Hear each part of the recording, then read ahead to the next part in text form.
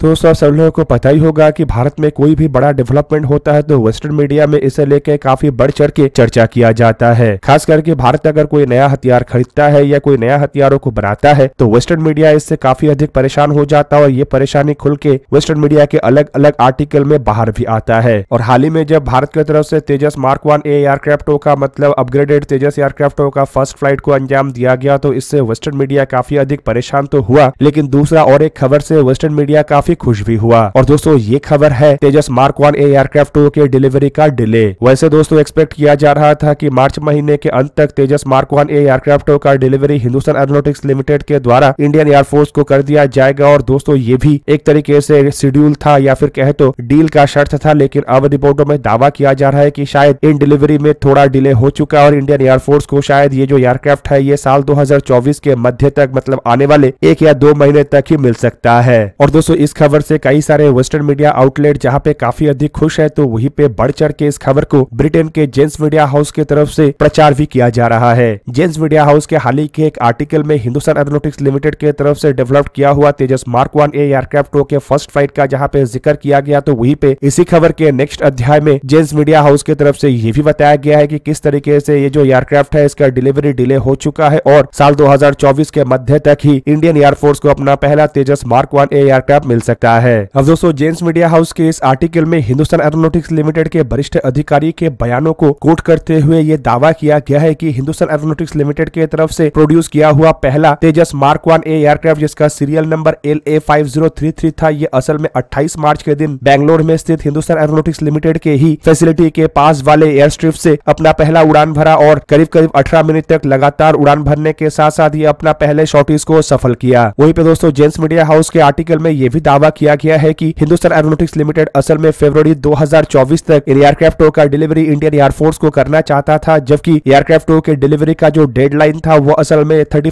मार्च दो हज़ार चौबीस का दिन था और ये अब गुजर चुका है। और वही पे दोस्तों, इस आर्टिकल में ये भी दावा किया जा रहा है की कम से कम इंडियन एयरफोर्स को इन एयरक्राफ्टों को डिलीवर करने के लिए हिंदुस्तान एरोनोटिक्स लिमिटेड को और एडिशनल दो महीने का समय लगेगा। हालाँकि दोस्तों, दो महीना किस लिए समय लगेगा, इसके बारे में तो कोई जानकारी नहीं दिया गया है, लेकिन आर्टिकल में यह दावा किया जा रहा है कि इन एयरक्राफ्टों के कुछ स्पेयर पार्ट्स के सप्लाई में शायद डिले हुआ है, खास करके रशिया और यूक्रेन का लड़ाई और इसराइल और हमास के लड़ाई के कारण इसराइल, रशिया, यूक्रेन जैसे देशों से तेजस एयरक्राफ्टों के लिए जिन स्पेयर पार्ट्स का सप्लाई किया जाना था, उसमें डिले होने के कारण इन एयरक्राफ्टों के जो फ़र्स्ट फ़्लाइट है और एयरक्राफ्टों के जो प्रोडक्शन का डेडलाइन है, उसे भारत की तरफ़ से मीट नहीं किया जा सका। हालाँकि दोस्तों, मुझे नहीं लगता है कि इन एयरक्राफ्टों में यूक्रेन से कोई भी पार्ट इंपोर्ट किया गया है, पर यह बात सही है कि तेजस मार्क वन एयरक्राफ्टों में इसराइली और रशियन कई सारे पार्ट्स का उपयोग किया गया है। हालाँकि दूसरी तरफ़ अगर अन्य खबरों को देखा जाए तो दावा किया जा रहा है कि कम से कम ऐसे चार एयरक्राफ्टों को हिंदुस्तान एरोनोटिक्स लिमिटेड की तरफ़ से तैयार कर लिया गया है और पांचवा जो एयरक्राफ्ट है, वो फ़िलहाल असेंबली लाइन में है और छठा एयरक्राफ्ट को भी तैयार किया जा रहा है और कुल मिला के इस साल के अंत से पहले हिंदुस्तान एरोनोटिक्स लिमिटेड कम से कम छह ऐसे तेजस मार्क वन ए एयरक्राफ्टों को इंडियन एयरफोर्स को सौंपेगा, जबकि पहले बैच में दो एयरक्राफ्टों को सौंपने का बात कहा जा रहा है और इन दोनों एयरक्राफ्टों के सहारे ही इंडियन एयरफोर्स की तरफ़ से पहला अपना तेजस मार्क वन एयरक्राफ्टों के स्क्वाड्रन को तैयार किया जाना है। जबकि दोस्तों, इसके साथ साथ Hindustan aeronautics limited, Indian air force को तेजस मार्क वन के ट्विन सीटर ट्रेनर एयरक्राफ्टों को भी डिलीवर करने को लेकर तैयारी कर रहा है और रिपोर्ट में दावा किया जा रहा है की इस साल के अंत से पहले कम से कम छह ऐसे ट्विन सीटर ट्रेनर वेरिएंटों को भी इंडियन एयरफोर्स को सौंपा जाएगा। हालाँकि टोटल ऐसे अठारह एयरक्राफ्टों का ऑर्डर हुआ है, जिनमें से एक एयरक्राफ्ट का डिलीवरी ऑलरेडी हो चुका है और कुछ एयरक्राफ्ट फ़िलहाल असेंबली लाइन में है, जो कि जल्द ही बन के फाइनल हो जाएगा। दूसरी तरफ़ आप लोगों को यह भी बता दूँ कि अब तक करीबन 123 Tejas mark one, Tejas mark one twin seater trainer variant और तेजस मार्क वन ए एयरक्राफ्टों का ऑर्डर हो चुका है, जिनमें पहले बैच के करीबन 32 Tejas mark one fighter aircraft और एक Tejas mark one twin seater trainer वेरिएंटों का डिलीवरी किया जा चुका है और बाकी एयरक्राफ्टों को साल 2028 तक डिलीवर करने के इरादे के तहत हिंदुस्तान एरोनोटिक्स लिमिटेड आगे बढ़ रहा है और दोस्तों, इसके लिए करीबन तीन प्रोडक्शन फैसिलिटीज़ को भी तैयार किया गया है, जिनमें दो प्रोडक्शन फैसिलिटी बैंगलोर में फुल स्केल में एयरक्राफ्टों का प्रोडक्शन कर रहा है, जिसका प्रोडक्शन रेट आठ आठ मतलब टोटल सोलह एयरक्राफ्ट पर ईयर है, जबकि तीसरा प्रोडक्शन फैसिलिटी नासिक में है और ये भी अपने प्रोडक्शन के काम को शुरू कर चुका है और इस फैसिलिटी से जो पहला एयरक्राफ्ट है, वो शायद साल 2025 के अंत या साल 2026 के शुरुआती समय में इंडियन एयरफोर्स को डिलीवर किया जाएगा और आशा किया जा रहा है की साल 2026 तक इंडियन एयरफोर्स के इन एयरक्राफ्टों के जो प्रोडक्शन रेट है, वो करीबन सालाना 24 एयरक्राफ्टों के दर पे पहुँच जाएगा, जबकि एडिशनल और 97 ऐसे एयरक्राफ्टों के ऑर्डर को लेकर तैयारी किया जा रहा है और अगर इन एयरक्राफ्टों के ऑर्डर जल्द ही मतलब इस साल के अंत से पहले प्लेस कर दिया जाता है तो शायद हिंदुस्तान एरोनोटिक्स लिमिटेड तेजस एयरक्राफ्टों के प्रोडक्शन फैसिलिटीज़ को इंक्रीज करते हुए सालाना कम से कम तीस एयरक्राफ्टों के दर पे इन एयरक्राफ्टों को प्रोड्यूस करेगा। और दोस्तों, ये भी एक बहुत बड़ा कारण है, जिसके वजह से इन एयरक्राफ्टों को लेकर वेस्टर्न मीडिया में इतना अधिक चर्चा हो रहा है, क्योंकि कोई वेस्टर्न देश ये नहीं सोच पाया था कि भारत की तरफ़ से अपने खुद के एयरक्राफ्टों को ऐसे बना लिया जाएगा और ऊपर से भारत इतने बड़े मात्रा में इन एयरक्राफ्टों को खरीदेगा। दोस्तों, इससे पहले भारत जब भी अपने एयरफोर्स के एयरक्राफ्ट खरीदता था तो आइधर रशियन या फिर वेस्टर्न देशों के प्लेटफॉर्म को ही खरीदता था, जिन कारणों की वजह से ऐसे वेस्टर्न मीडिया हाउसेस के आका कहे जाने वाले कंपनियों को काफ़ी अधिक फ़ायदा होता था। और दोस्तों, अब इन कंपनियों को जहाँ पे नुकसान हो रहा है तो वो जो नुकसान का दर्द है, वो वेस्टर्न मीडिया हाउसेस के इन आर्टिकल में धीरे धीरे करके बाहर आ रहा है। अब दोस्तों, एक तरफ़ जहाँ पे वेस्टर्न मीडिया हाउस में तेजस मार्क वन एयरक्राफ्ट को लेकर चर्चा किया जा रहा है तो वही पे दूसरा और एक चर्चा का कारण चाइनीज़ नया अटैक हेलीकॉप्टर भी है। आप लोगों को पता ही होगा कि कुछ दिनों से चाइना के मीडिया में एक नया अटैक हेलीकॉप्टर को लेकर काफ़ी अधिक आर्टिकल बाहर आ रहा है, और कई सारे विदेशी आउटलेट में भी इन आर्टिकलों को हाईलाइट करते हुए दावा किया जा रहा है कि चाइना के द्वारा और एक नया अटैक हेलीकॉप्टर को तैयार कर लिया गया है, जो कि शायद एक हैवी वेट अटैक हेलीकॉप्टर हो। और दोस्तों, जेम्स मीडिया हाउस के आर्टिकल में दावा किया जा रहा है कि चाइना के तरफ़ से जो नया अटैक हेलीकॉप्टर का डेवलपमेंट किया गया है, असल में ये वज़न के मामले में शायद अमेरिका के अपाचे मतलब एच सिक्सटी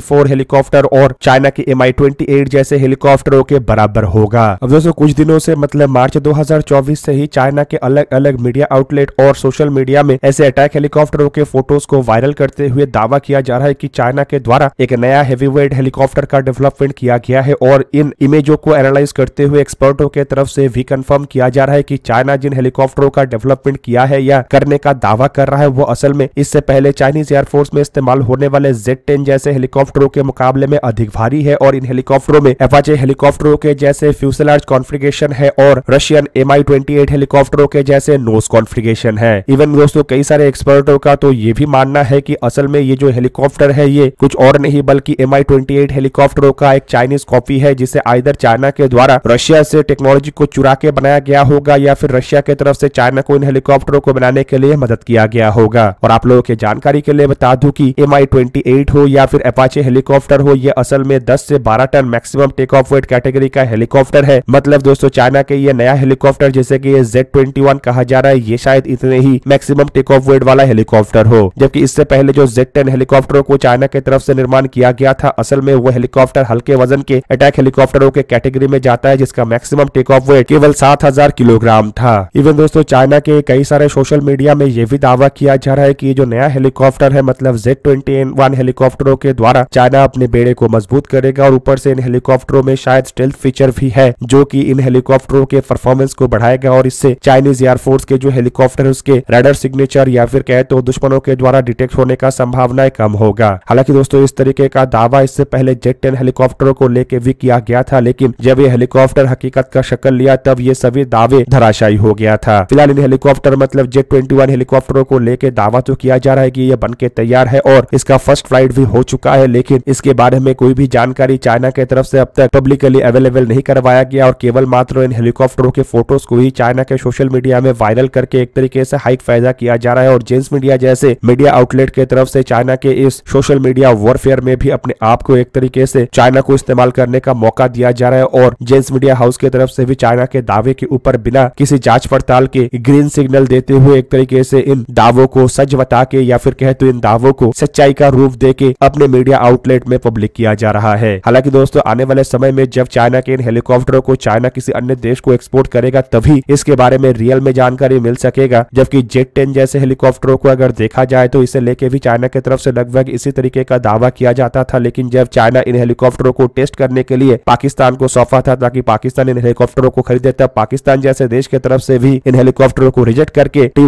हेलीकॉप्टर मतलब टर्किश हेलीकॉप्टरों को खरीदने के तहत आगे बढ़ा गया था। लेकिन अमेरिका के दबाव के कारण टर्की जहाँ पे इन हेलीकॉप्टर बेच नहीं सका तो वहीं पे मजबूरी में अब पाकिस्तान के द्वारा चाइना के जेट टेन जैसे हेलीकॉप्टरों को भी खरीदा जा रहा है। दोस्तों, आप लोगों को क्या लगता है कि सोशल मीडिया में चाइना की तरफ़ से जो प्रोपागंडा किया जा रहा है, क्या इसमें कुछ वेस्टर्न देशों के मीडिया के तरफ़ ऐसी भी चाइना को मदद किया जा रहा है या नहीं कॉमेंट करके अपने राय अवश्य दीजिए। दोस्तों, आज के इस वीडियो को यही पे करते समाप्त किसी और एक दिन किसी और एक वीडियो में मिलेंगे। तब तक के लिए जय हिंद, वंदे मातरम।